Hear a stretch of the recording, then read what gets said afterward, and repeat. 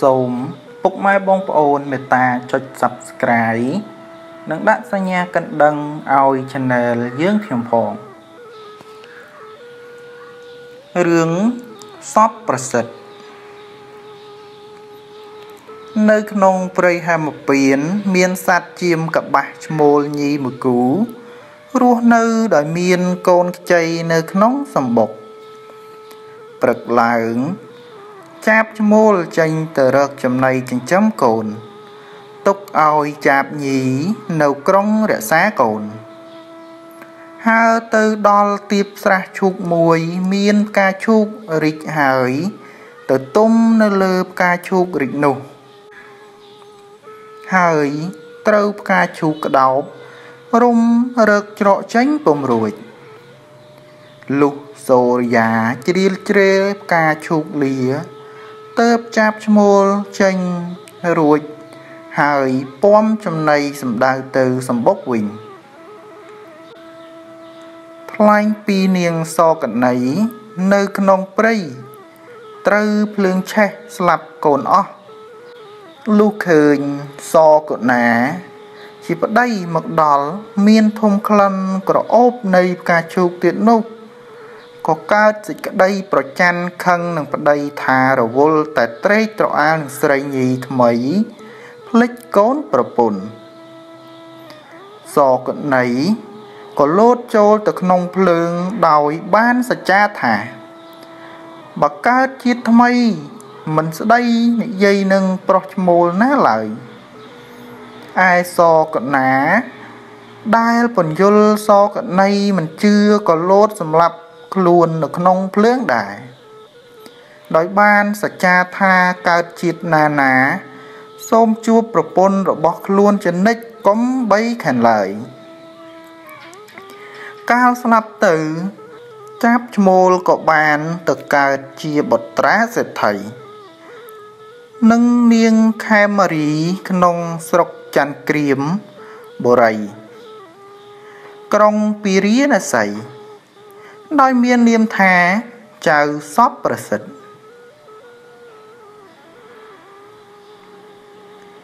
កាលសពប្រសិទ្ធប្រសូតនោះ មានកុមារ1001នាក់កើតឡើងដែលជាបរិវារចំណែកអានាងសកណីកាលស្លាប់ទៅ បានយកកំណើតជាបុត្រីរបស់ត្រកូលក្សត្រមាននាមថាសវណ្ណកសរ នៃក្រុងពីរាណសីដែលមានបិតាប្រនាមប្របាទព្រមទត្តនិងមហេសីនាមកុសុមា កាលធំដឹងក្តីឡើងសពសិទ្ធបានសុំឪពុកម្ដាយទៅរៀនវេទនិងលោកគ្រូអាចារ្យទេសាបមកនៅនគរតកសិលាដោយមានកុមារទាំង1001ទៅរៀនជាមួយគ្នា ព្រមទាំងមានពលៀងចំណិតម្នាក់ផងដែលបានរៀនសូត្រចេះដឹងដោយសពប្រសិទ្ធដែរក្នុងចំណោមសិស្សទាំងអស់សពប្រសិទ្ធគឺជាសិស្សដែលពូកែនិងឆ្លាតជាងគេ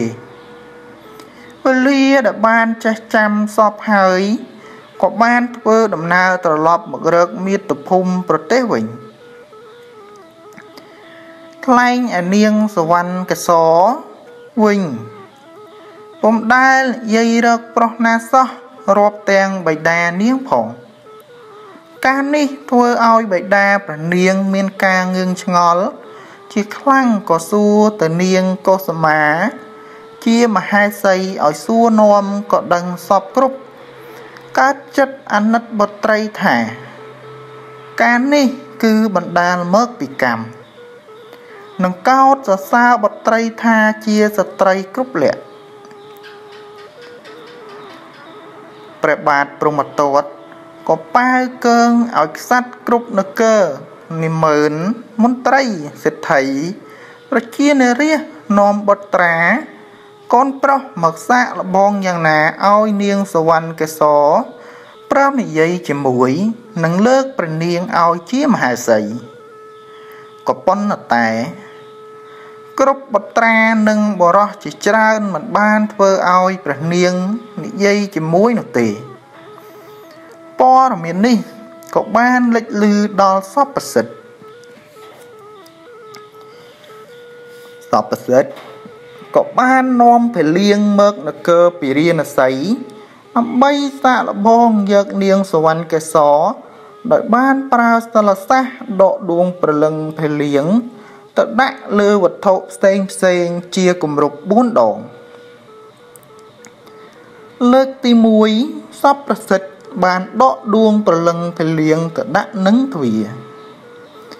លើកទី2ដាក់នឹងចង្គៀងលើកទី3ដាក់នឹងចង្ពៀនប្រស្រីនិងលើកទី4ដាក់នៅនឹងវាំងនឿនហើយក្នុងមួយលើកមួយលើកសពប្រសិទ្ធបាននិទានរឿងមួយ ការនិទានរឿងទាំង4របស់សពប្រសិទ្ធនេះធ្វើឲ្យសវណ្ណកសរនិយាយតបដោយមានសូរស័ព្ទភ្លេងជាកសិនស័ក្តិសិទ្ធិសពប្រសិទ្ធនិងនាងសវណ្ណកសរក៏ត្រូវបានបិតាមេដារៀបចំអភិសេកឲ្យនាពេលវេលានោះទៅ សម័យក្រោយមកសពប្រសិទ្ធ បានលាមហេសីទៅប្រពៀតព្រៃជាមួយនឹងភលៀងទៅដល់ព្រៃបានជួបនឹងប្រើស្លាប់មួយសពប្រសិទ្ធក៏បានដកដួងใจពីខ្លួនទៅចូលក្នុងសាកសពនោះដោយបានផ្ដាំភលៀងឲ្យមើលរូបកាយខ្លួនឲ្យបានល្អសពប្រសិទ្ធ ក្នុងរូបរាងប្រាស់បានរត់លេងយ៉ាងសប្បាយទៅក្នុងព្រៃឱកាសល្អភលៀងក៏បានដកដួងជីវិតរបស់ខ្លួនចូលទៅក្នុងរូបសពប្រសិទ្ធហើយដុតរូបរបស់ខ្លួនចោលទៅសពប្រសិទ្ធត្រឡប់មកវិញដឹងថាភលៀងក្បត់យកប្រលឹងចូលរូបរបស់ខ្លួន នោះក៏កើតទុកទោមនឹងចៃដន្យល្អ មានសត្វសារិកាមួយស្លាប់ថ្មីថ្មីសពប្រសិទ្ធក៏ដកដួងជីវិតចូលទៅក្នុងរូបសត្វនោះ ហើយក៏ហើរទៅសំដៅទៅរាជវាំងរាយរាប់ប្រាប់មហេសីសពគ្រប់សវណ្ណកេសរក៏បានលួងលោមភេលៀងឲ្យដកដួងជីវិតដាក់ក្នុងពពែស្លាប់មួយសពប្រសិទ្ធក៏ដកដួងជីវិតរបស់ខ្លួនចូលទៅក្នុងរូបរបស់ខ្លួនវិញ រួចរាល់ហើយគេក៏សម្លាប់ពពែនោះចោលទៅ ក្រោយមកព្រះបាទព្រហ្មទត្តទ្រង់រាជជាពាតដល់នៅទីបង្គត់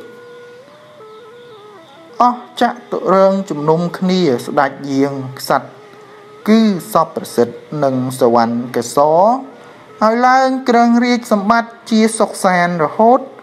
ដល់ប្រជជន120ព្រះវសា ទើបសោយវិលាល័យទៅកើតនៅក៏កើតនៅទីឋានថ្មីសពប្រសិទ្ធសជាតិជាព្រះសម្មាសម្ពុទ្ធនាងសវណ្ណកសជាកន្សែងសារពេជ្រពលៀងកើតជាទេវទត្តព្រះបាទព្រហ្មទត្តកើតជាអនិច្ចបណ្ឌិតមហាសិទ្ធិ កុសមាជានាងពលិកាសិទ្ធិជាឪពុកសពប្រសិទ្ធកើតជាព្រះបាទសន្ធោទនៈ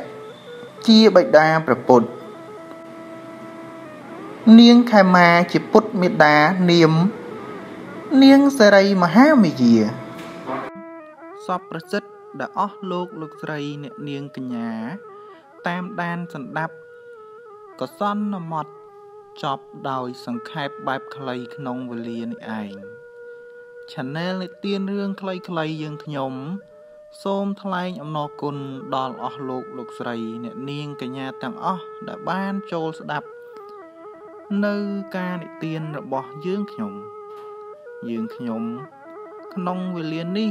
សូមអរគុណនិងសូមគោរពលា សន្យាជួបគ្នានៅ រឿងថ្មីថ្មីជាច្រើនផ្សេងផ្សេងទៀត